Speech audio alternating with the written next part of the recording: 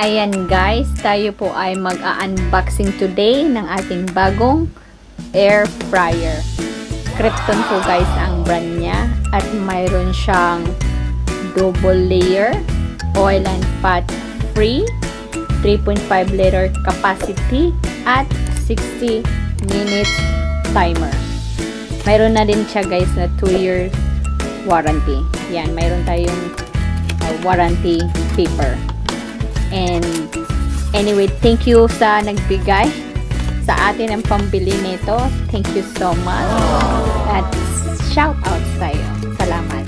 And mayroon na rin siya guys na manual kung paano gamitin ang air fryer. Yan. Ang bigat niya guys. Ang. Yan, empty box. Itabi na muna natin. Ayan. Ito na siya. Ito ng ating air fryer. Ngayon ko pa talaga ito bubuksan guys. Wait lang. Ayan. Ayan. Ito ang kanyang basket. Ayan. Kailangan mo siyang i-press. Uy! Ayan. I-press para makuha yung basket. Ito ang, anong tawag nito? Ito basket. Itong isa. Ayan. Ito ang basket. Lagay natin sa pan pan bang tawag niya? Pan yata, pan. Ayan.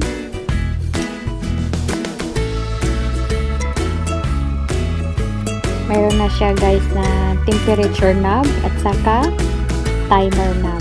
Yan sa baba, temperature knob. Sa taas, timer knob. Ayan. At saka mayroon na rin siya guys ng indicator kung ilang temperature pag nag-bake, pag nagawa ka ng bread, pag sa karne, sa fries, sa chicken, ayan, meron na siyang indicator dyan.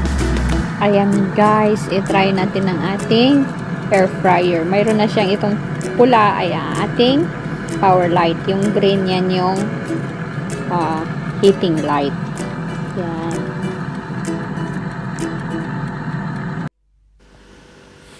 Ayan, let's check kung ano nang nangyari sa loob ng ating air fryer. Ayan. Tadaan! Chicken na may fries. 2,000 years later. At ito na nga guys. Hindi ko talaga yan luto sa air fryer. Binili ko na lang yan sa labas at gutom na gutom na ako guys. Tinan mo naman sa likod ko. Madilim na. Ano ko pa to? Tanghalian. So, nangyari, tanghalian na hapunan.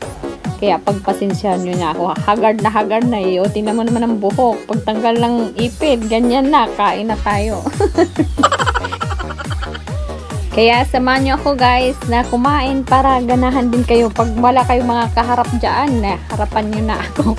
Ganyan minsan ang ginagawa ko pag ano, kumakain ako mag-isa. Lagi naman ako mag-isa kumakain. Kaya minsan yung mga mukbang-mukbang na yan, pinapanood ko habang kumakain ako para magkaroon ng gana. Kaya pag wala kayong gana, wala kayong kaharap, ayun, samahan nyo akong kumain. para sa imuha Sultihan ti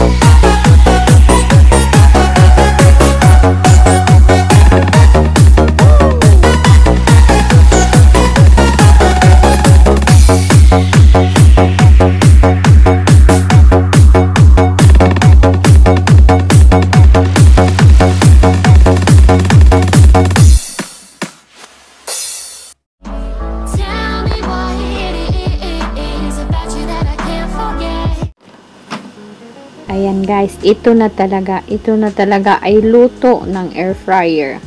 Inihaw na isda. Wala ka lang gagawin, lagay mo na lang, pak, luto na siya pagbukas mo.